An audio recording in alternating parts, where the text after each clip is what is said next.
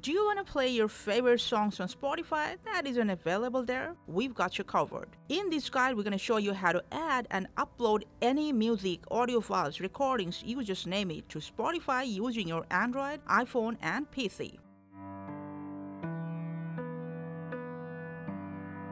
If you want to add songs to Spotify from your Android, launch the app from your profile, go to Settings and Privacy.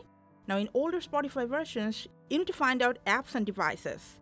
In updated Spotify versions, just go straight for local files and then toggle on show audio files from this device option.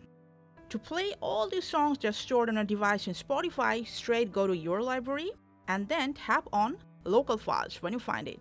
And as I've said earlier, if you're using an updated version of Spotify, you'll get prompted to add audio. Just tap on it and then press allow. That's it. All your songs are stored on your Android phone will be available in this list. You can play those songs and audios from here. Also, add those songs to your Spotify playlist. Now, if you're trying to add files to your Spotify from your iPhone, first just go ahead search for files, then tap on this shared file option, enter this file, and then press done. Go back to recents. From this three dot, Select your preferred MP3 files from here. Press done. Go to shared folder again. Search for Spotify. Tap on it and enter. And then copy those files to your Spotify folder.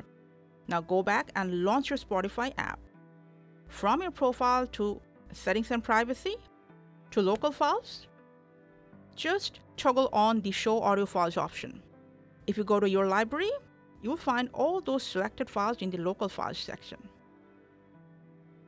If you're trying to add files from your PC or laptop after opening your Spotify app, from your profile, go to settings, scroll down, and under your library you'll see show local files. Just toggle it on and make sure downloads or music library options is turned on.